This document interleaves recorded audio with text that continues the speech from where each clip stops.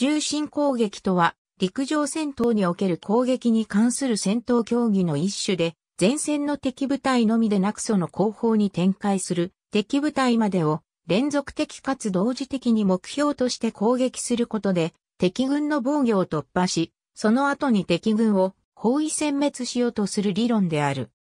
圧倒的な戦力による縦長の体系での連続的な攻撃と長距離火砲や航空機による敵後方に対する攻撃、空挺部隊などによる対路遮断を組み合わせて実施される。ミハイル・トゥハチェフスキーにより、ソ連軍の戦闘競技である、重心戦術理論として理論化された。1920年代、ロシア内戦を経験したソ連では、陸海軍人民委員のレフトロツキーらによって、軍事改革の推進が唱えられた。トロツキーは、ロシア内戦での機動戦の体験から、陸軍の機械化を主張した。また、トロツキーを補佐する労農赤軍参謀総長のミハイル・フルンゼも、軍の活動を維持するための兵隊の重要性を強調した。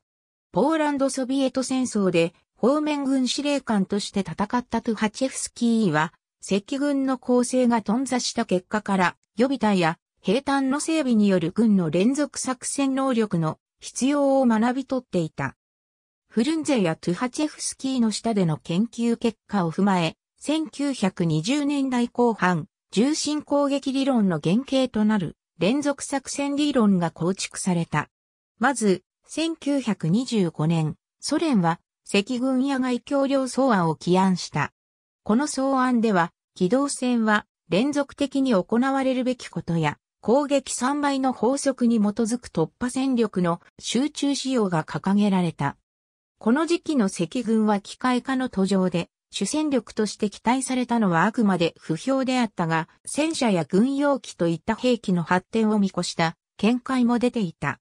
参謀総長代理の地位にあったウラジーミル、トリアンダフィーロフは、1929年には、不評に対する直接支援、遠距離支援、遠距離行動という3段階の機械化部隊運用を主張していた。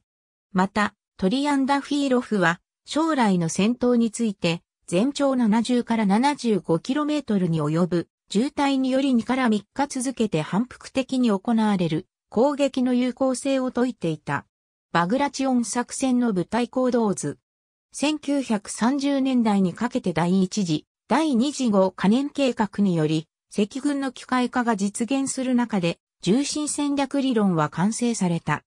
トゥハチェフスキーは、地上軍の機械化とともに、世界に先駆けて空挺部隊の創設を進め、空き地一帯による大規模な機動演習を成功させた。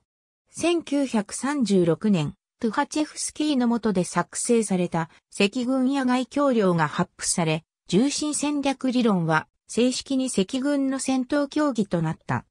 トゥハチェフスキーは大粛清により処刑されたが、重心戦略理論は赤軍野外協領によって受け継がれた。第二次世界大戦での独ソ戦では、赤軍は重心戦略理論に基づいた構成を実施し、1944年に行われたバグラチオン作戦がその集大成と評価される。第二次世界大戦後も重心戦略理論の発想はソ連軍の地上戦闘競技に引き継がれた。核戦争を想定した理論の発展があり、戦術核兵器の使用も織り込まれた。重心突破の距離は300から 500km にも及ぶことが目標とされ、そのためにパイプライン敷設などにより平坦能力を高める推進補給方式が採用された。1980年代には膨大な機構部隊を機関に空中機動部隊や特殊部隊を戦域ごとに統合運用する諸兵化連合の作戦機動グループとして結実した。ソ連軍の構想は第一艇団の吸収により、NATO 軍に戦術核兵器を使う暇を与えず突破口を形成し、続けて第二艇団が深く突入、予備隊や空中機動部隊が連携する重心戦略理論の現代版であった。ソ連崩壊後のロシア連邦軍にも重心戦略理論の思想と装備体系は受け継がれていると推測される。重心攻撃の戦術的特色は主力部隊が幅広い正面に同時攻撃を仕掛け、かつ目標とする突破距離は 100km 以上にも及ぶことである。そのために圧倒的に優位な戦力を用い、あらかじめ組んだ縦長の体系を維持し続けることが必要とされた。主力部隊は敵の第一線に突破口を開く。第一艇団と突破口から波状攻撃を続ける。第二艇団に分けられる。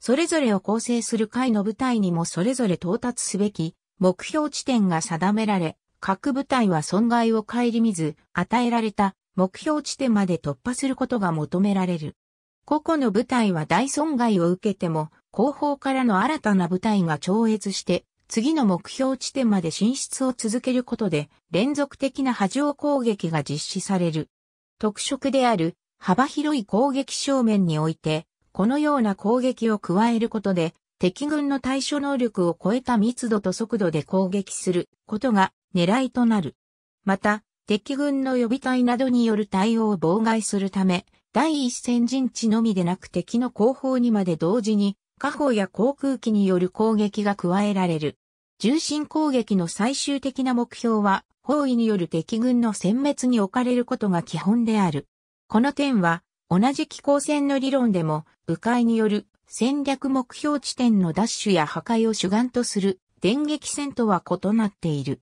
重心攻撃では、包囲殲滅のために空挺部隊による退路の遮断や予備隊の投入による追撃戦が実施される。ありがとうございます。